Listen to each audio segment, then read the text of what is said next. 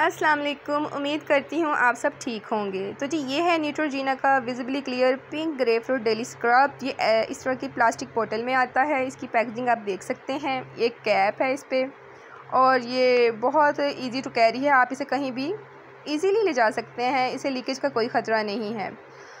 मैं आपको इसके ऊपर जो मेंशन है चीज़ें, वो पढ़ के सुना देती हूँ। ये जी नीट्रोजीना का visibly clear pink grapefruit daily scrub है। Clear impurities gently for a fresh and radiant complexion micro clear technology है इसमें। डर्माटोलॉजिस्ट है विद यानी टेस्टेड है डिवेल्प विद डर्माटोलॉजिस्ट है, यानी कि उनकी मौजूदगी में ये बनाया गया है और टेस्टेड भी है, यानी कि इसमें कोई ऐसा हार्मफुल इंग्रेडिएंट नहीं है जो आपकी स्किन को नुकसान पहुँचाए। ठीक है जी? Neutrogena visibly clear pink grapefruit daily scrub an uplifting daily facial scrub for clear fresh and radiant complexion every day. With powerful micro clear technology and naturally derived exfoliators to help eliminate impurities and help prevent future breakout. It unclog pore and gently purify the skin without over drying it और ये जी है direction for use in the morning and evening massage on to wet face rinse through thoroughly and avoid contact with eyes if eye contact occur. Rains well with water for external use only, keep out out of reach of children. Keep away direct sunlight. और ये 150 fifty की बोतल में है available और ये made in France है, ये इसके इंग्रेडिएंट्स हैं, आप देख सकते हैं। इस पर एक्सपायरी डेट मेंशन होती है। तो जी, जैसे कि यहाँ इन्होंने लिखा है, जी, आप सुबह शाम इसे इस्तेमाल कर सकते हैं और ये डेली स्क्रब है, ऐसा नहीं होता। आप इतना ज़्यादा स्क्रबिंग करेंगे तो आपकी स्किन जो है ओवर ड्राई हो जाएगी और फ़ायदा देने के बजाय स्क्रब्स आपको नुकसान ही पहुँचाएँगे। स्क्रब का जो मेथड है, आपने इस तरह करना है, अगर आप मेरी माने तो आप इसको वीक में सिर्फ़ दो दफ़ा अप्लाई करें और जिनकी ऑयली स्किन है वो तीन दफ़ा भी अप्लाई कर सकती हैं।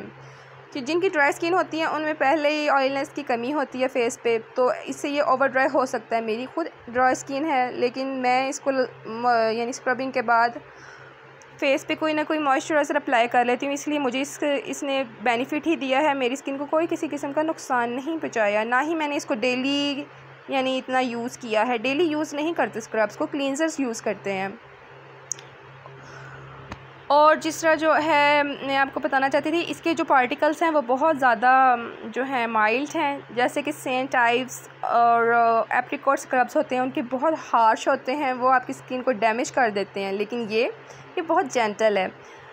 बहुत मिसकॉन्सेप्ट हैं कि जी आप अपनी स्किन को बहुत ज़्यादा अच्छी तरह रगड़ेंगे किसी को स्क्रब से तो आपकी स्किन एकदम शाइन मारेगी। ऐसे नहीं होता। ये सब मिथ्स हैं। आपको अपनी, यानी आप अपनी जितनी भी ये गलत बातें जहन में डाली हुई हैं, इनको क्लियर करें और वो काम करें जिससे आपकी स्किन को एक्चुअली में फ़ायदा हो। स्क्रबिंग जो है ज़रूरी है, ये डेड स्किन को रिमूव करती है आपकी फेस से। लेकिन वीक में सिर्फ़ दो दफ़ा आप इसे यूज़ करें और इसे इसका बेनिफिट हासिल करें, ना कि आप इसे उल्टा बजाय नुकसान लें डेली यूज़ करके।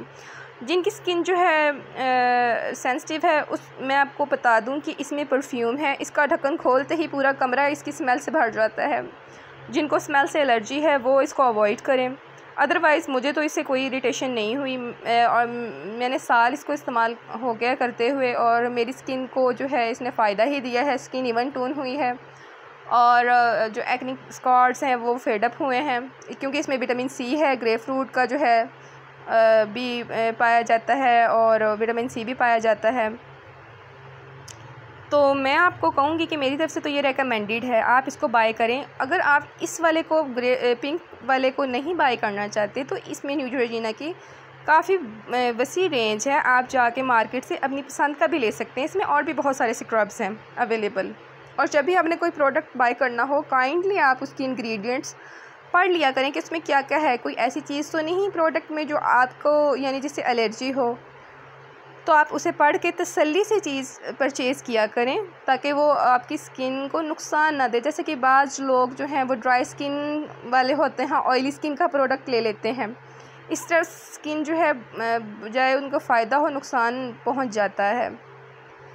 तो इसके जो है स्क्रबिंग का भी मैंने आपको बता दिया है कि क्या मेथड है पीछे पढ़ के, लेकिन उन्होंने लिखा हुआ डेली करना है। मैं तो आपको मशवरा जिस तरह दिया है कि वीक में एक या दो दफ़ा आप, यानी पहले क्लिनजिंग करें, उसके बाद इसकी पी साइज़ जो है, इसका लिक्विड लें और अच्छी तरह दो से तीन मिनट मसाज करें।